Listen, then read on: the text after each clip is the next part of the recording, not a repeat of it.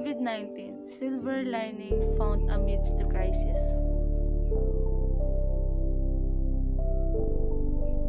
With the unexpected occurrence of COVID-19 pandemic, the whole world are bombarded with common problems and has been the talk of the news for months now.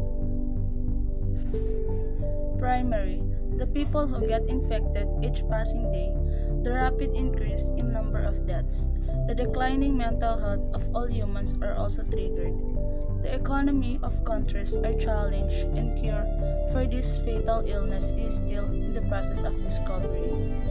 However, despite this, the solidarity of all nations are evident with the common goal of eliminating the disease and to heal as one.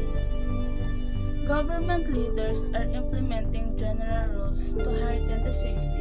measures of all the citizens stakeholders. On the other hand, people are doing their best part to finally defeat the unseen foe by following that was being enforced. Medical health workers who exert effort in the front line are also noticeable as they justify their oath with their full potential. At the same time, they are more prone to acquire the disease since they are the main contact of COVID-19 patients. But still, they offer the help that the society needs. Other than them, professionals, or even normal people who voluntarily and consistently extending their hands to preside in helping their community without asking in return, but to be safe are also admirable. Moreover, people who serve as the backliners are also appreciated for doing their service to the people even in the big or little things.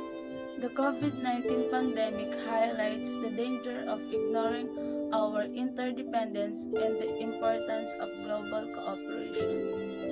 It shows us with the crystal clarity that all humanity is in the same boat. That cooperation can only be done and seen physically, but moreover, even if each one of us are not in the same place together.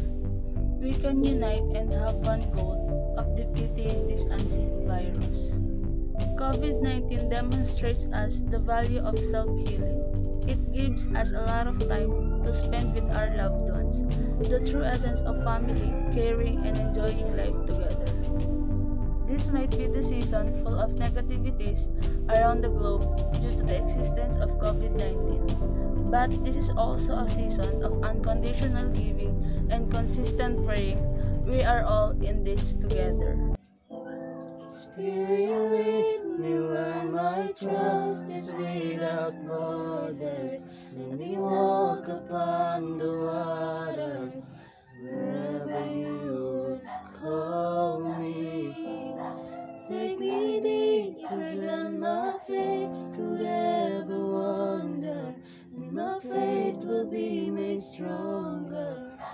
the presence of my Savior.